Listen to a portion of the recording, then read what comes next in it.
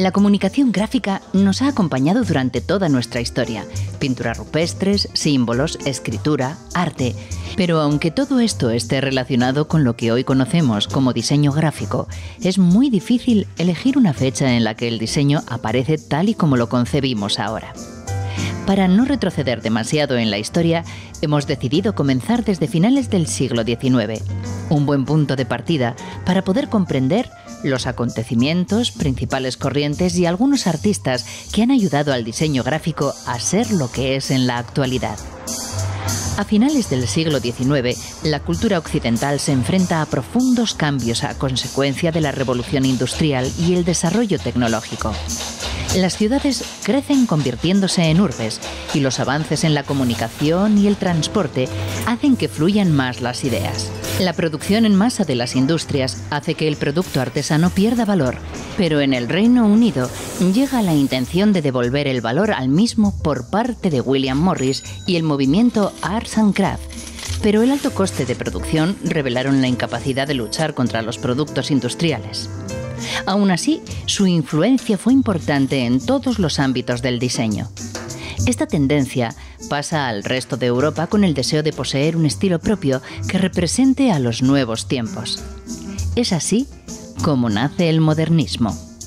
El modernismo es un movimiento artístico que se desarrolló a finales del siglo XIX y principios del XX, periodo también conocido como la Belle Époque. La Belle Époque duró aproximadamente desde 1870 hasta el inicio de la Primera Guerra Mundial. El modernismo también se conoce como Art Nouveau, Jugendstil o secesión, en función de su ubicación. Intenta fusionar arte y vida, influido por la filosofía de John Ruskin y William Morris. Además, rompe con anteriores movimientos como el historicismo, el realismo o el impresionismo utiliza elementos de la naturaleza para dar movimiento a sus obras, haciendo que el componente orgánico tenga un fuerte protagonismo. Algo que distingue a este movimiento es que sus autores trabajan varias disciplinas. Un arquitecto, por ejemplo, no solo diseña su edificio, sino también los muebles y adornos que contendrá. Es por esto que comienzan a aparecer objetos decorativos con la firma de su creador. Algunos autores de este movimiento son Alfons Mucha. Este pintor y artista decorativo checo es uno de los grandes exponentes del Art Nouveau. Su estilo, muchas veces imitado, es florido y en sus diseños de línea sensual la imagen de la mujer es siempre protagonista. Charles René Mackintosh. Lo sabemos, suena ordenador de Apple, pero fue un arquitecto y diseñador nacido en Escocia en 1868 y uno de los máximos representantes del Modern Style en su país. En sus obras destacan las figuras geométricas y las líneas rectas y ascendentes. Peter Behrens fue pionero en el diseño de carteles, logos y fuentes, pero acabó buscando un diseño menos adornado, más pulcro y funcional que le permitiera la producción modular y en cadena sus retículas comenzaban con un círculo y un cuadrado que multiplicándose o dividiéndose se podían usar para cualquier diseño. El principio del siglo XX estuvo marcado por la Primera Guerra Mundial, que comienza en 1914 con el asesinato del príncipe austríaco en Sarajevo, hecho que provocó la guerra entre Serbia y Austria-Hungría, y ambos bandos fueron apoyados por las grandes potencias mundiales terminó con la derrota de Alemania y el Imperio austrohúngaro y la firma del Tratado de Versalles en 1919. Este mismo año, uno de los alumnos de Behrens, Walter Gropius, fundó en Weimar, Alemania, la escuela Bauhaus. ¿Te suena? La Bauhaus fue una importantísima escuela que combinaba diseño y arquitectura. Influidos también por el constructivismo, Estudiaban la forma, el color, los materiales, la composición o el espacio e intentó aportar valor estético al producto industrial para su resurgimiento después del conflicto. En 1925, la escuela se trasladó a Dessau, donde creció el interés en la parte más práctica del objeto. La Bauhaus desarrolló principios fáciles de comprender, se establecía una jerarquía tipográfica y se utilizaban líneas, barras, cuadrados y puntos para dividir el espacio y unir diferentes elementos, atrayendo así la mirada del espectador. La escuela cerró finalmente en Berlín en 1933. En la Bauhaus destacaron entre sus profesores grandes artistas como Kandinsky, de origen ruso, gran pintor del expresionismo y la abstracción y un teórico del color y el diseño. Paul Klee, que al igual que Kandinsky está considerado como uno de los padres de la abstracción y uno de los artistas más influyentes del siglo XX. Herbert Bayer, cuyas composiciones dinámicas con líneas horizontales y verticales fuertes e incluso diagonales caracterizaron su etapa en la Bauhaus. Creó la fuente universal, cuyo nombre implica las aspiraciones de los nuevos principios del diseño. Moholy Nagy, cuya pasión por la tipografía y la fotografía llevó a que se hicieran experimentos importantes para unir estas dos artes. Fuera de la escuela, destacó El Lisinski, que estudió, innovó y experimentó con nuevas formas de expresión, tanto en la tipografía como en la fotografía y en el fotomontaje, y su influencia en la evolución del diseño gráfico fue crucial en los primeros momentos del movimiento moderno, manteniéndose vigente hasta la actualidad. Al mismo tiempo que en Alemania se desarrollaba la Bauhaus, en Francia y otros países europeos optaron por un movimiento distinto. Después de la guerra, el estilo decorativo del modernismo empezó a sustituirse por trazos más simples y rectilíneos, más en armonía con la estética plana y el menor coste de los diseños industriales. Hablamos del Art Deco. Este movimiento se dio a conocer en la Exposición Internacional de las Artes Decorativas e Industriales Modernas de 1925 en París y duró hasta 1939. Las influencias también del estilo racionalista y contemporáneo de la mencionada escuela Bauhaus. Además, la influencia del constructivismo ruso aportó las líneas duras y la solidez de las formas, así como la aparición de elementos monumentales en sus composiciones. En sus diseños aparecen las innovaciones tecnológicas de su época, la aviación moderna, la iluminación eléctrica, la radio, el revestimiento marino y los rascacielos. Estas influencias se expresaron en un mayor uso de formas geométricas y de la simetría. El empleo del color proviene del fobismo. Esto es evidente en revistas, libros y pósters de la época. Destacaron los llamados mosqueteros del cartel. Cassandre fue un cartelista y diseñador gráfico francés de origen ucraniano. En sus obras se puede observar la influencia de las vanguardias artísticas de la época de entreguerras del siglo XX. Sus carteles eran una síntesis perfecta y nunca antes vista de arte, texto e imagen. Lupot, que diseñó más de 60 carteles para impresores suizos, quienes le enseñaron las limitaciones y recursos de la litografía. Carlo, del que dicen que sus trabajos son creaciones artísticas absolutas y que en su obra se puede ver la constante utilización retórica. Colin, cuyo estilo era muy personal e imposible de categorizar. La precisión de sus retratos y la fuerza de sus carteles para grandes causas lo llevó a convertirse en un maestro de la comunicación visual. Durante las primeras décadas del siglo XX en Europa, varios diseñadores, muchos independientes del Art Deco y la Bauhaus, hicieron aportaciones significativas al diseño y aparecieron grandes tipografías como Hill Sans, la Futura, de Paul Renner, o el movimiento Isotype creado por Norat. Pero sin duda, la aportación más importante fue la que hizo Jan Chichold, 1902-1974, con la nueva tipografía.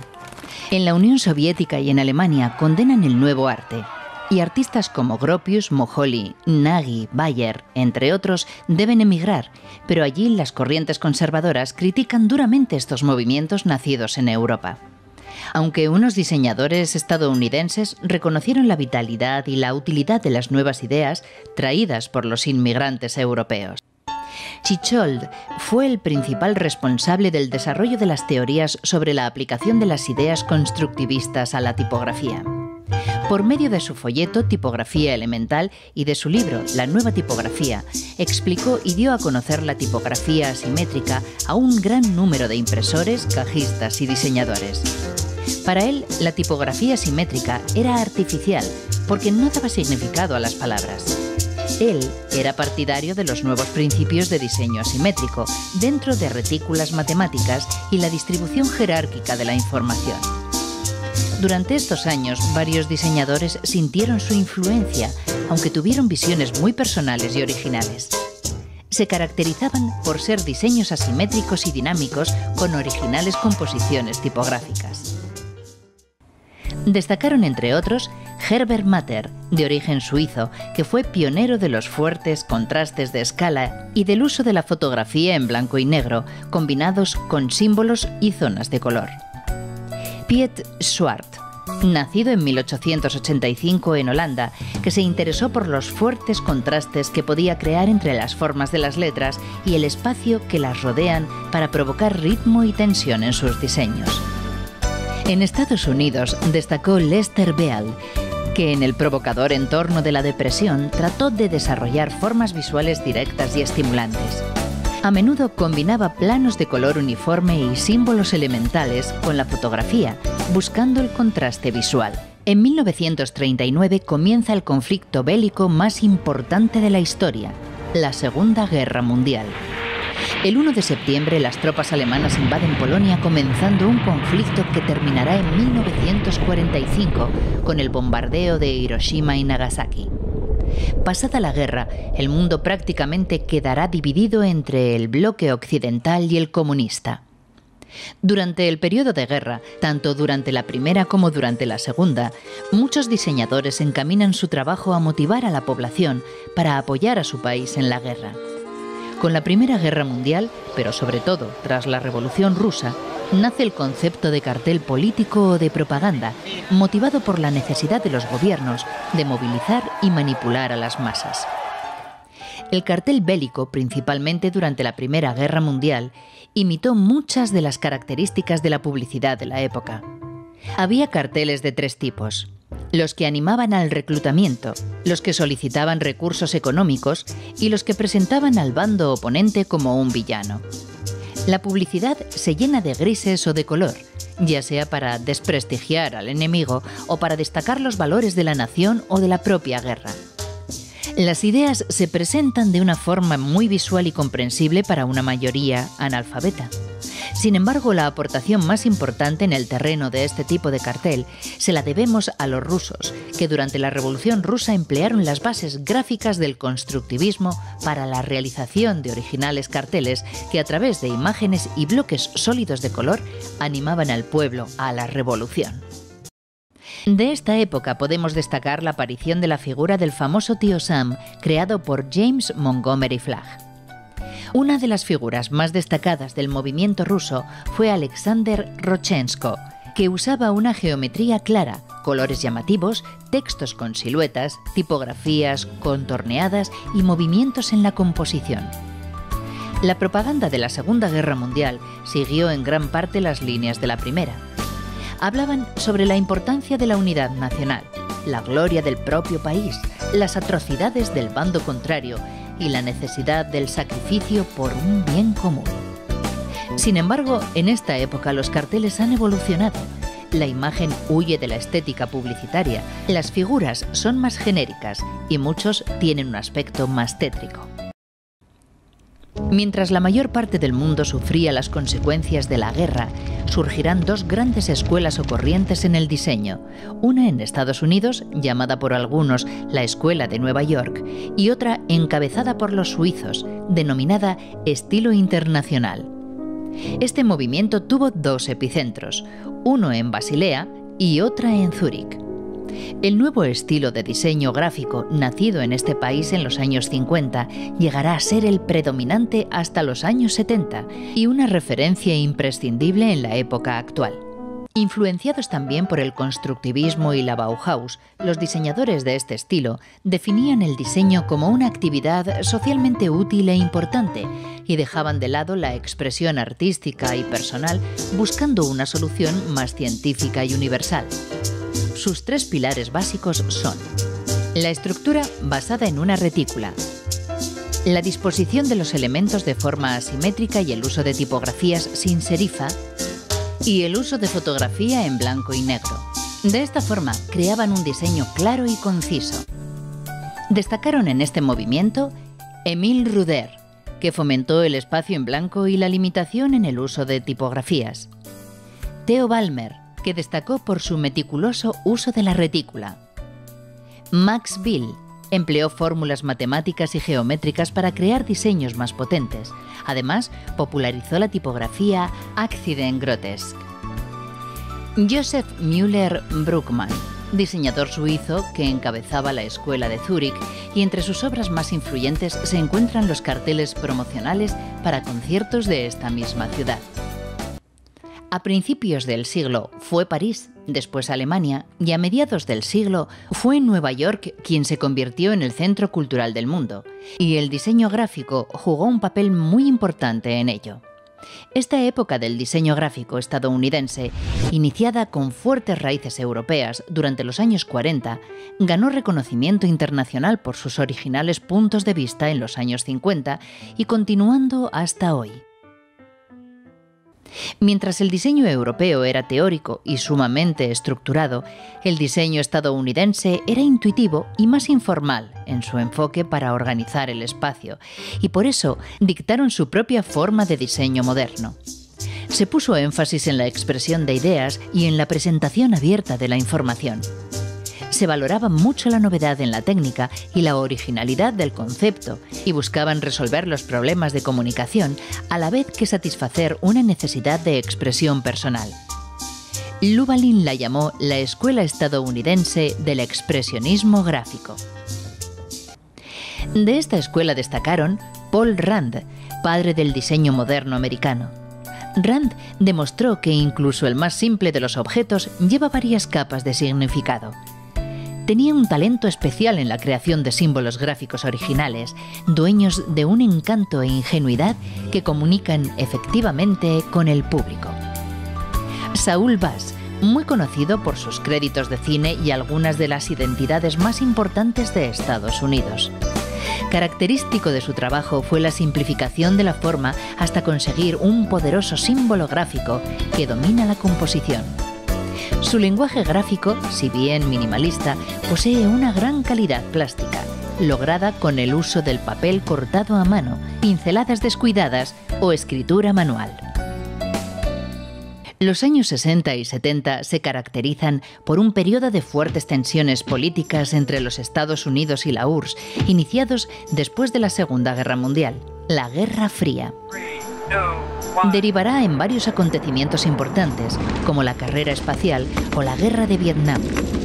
La población no aprueba las decisiones de sus gobiernos provocando importantes revoluciones sociales y culturales en Europa y en Estados Unidos. Polonia, que pasó de ser un país independiente a ser casi destruida por los nazis durante la guerra y posteriormente a tener un gobierno comunista. Francia es un hervidero de nuevas ideas y movimientos juveniles. En Inglaterra, crisis, gran sentimiento de nihilismo y rebelión contra el sistema. Los artistas polacos buscan en sus carteles una identidad propia. Su estilo tiende en gran parte al surrealismo y tienen una preferencia clara por el collage. No buscan vender, sino que usan el diseño para promocionar eventos culturales y los clientes son las propias instituciones. Esta libertad de acción les permite crear obras que serán de gran influencia en el resto de Europa en los años venideros, como por ejemplo en Francia. En Francia, el diseño tiene un fuerte componente político y de protesta, y su mensaje, fruto de un profundo ejercicio intelectual, pretende hacer reflexionar a la población. En Inglaterra, el ansia de libertad se manifiesta en la estética punk que rompe con los elementos del diseño, creando un lenguaje crudo y en parte dadaísta, caracterizado por el collage y el uso de colores estridentes. En Francia destaca el estudio Grappus, que dedicó su actuación entre los años 1971 y 1991 al diseño de carteles de carácter insólito sobre temas sociales y políticos. Se caracterizaron por el uso de símbolos reconocidos en la memoria colectiva del público, combinadas de forma contradictoria con el objeto de crear un malestar en el espectador y así llamar su atención. Sus carteles de gran creatividad artística son herederos de esta libertad de acción del diseño polaco. En Inglaterra pondremos como ejemplo los carteles de Jamie Reid. Jamie Reid es un artista inglés nacido en 1947 y totalmente ligado al movimiento punk. se caracteriza por el uso de textos a base de recortes y las imágenes provocativas en contra del sistema. Colaboró con la mítica banda Sex Pistols en la portada de sus álbumes. Y en estos momentos, ¿qué se cuece en Estados Unidos? Recordemos que nos encontramos en plena Guerra Fría y sus tropas se encuentran en Vietnam. En su país, los jóvenes crean movimientos antibelicistas y feministas y nacen nuevas culturas como los hippies y los beatniks. ¿Y qué pasa con el diseño? Estamos en una época de grandes avances tecnológicos. La televisión es el medio de comunicación por excelencia y comienza la edad de oro de la publicidad, consolidándose muchas de las grandes empresas del sector. En este periodo gana fuerza el expresionismo gráfico, que juega con la forma de las palabras para expresar una idea. Se perfeccionan las técnicas de expresión gráfica como la fotografía, la infografía o la fotocomposición, con la ayuda de los primeros programas de ordenador. Pero esto no acaba aquí. La cultura juvenil ha creado sus propios valores, su música, y esta forma de vida necesita una nueva estética, caracterizada por las caligrafías psicodélicas y distorsionadas, las formas simplificadas y el uso del color.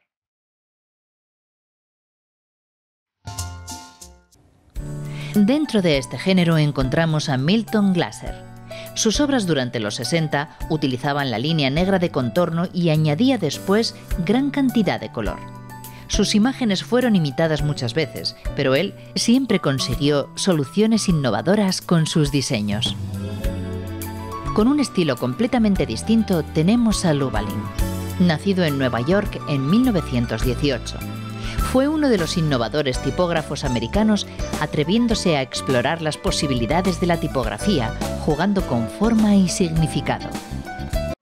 A partir de los 80, los ordenadores personales y los nuevos programas informáticos gráficos ofrecieron a los diseñadores la oportunidad de jugar con la relación del texto con la imagen.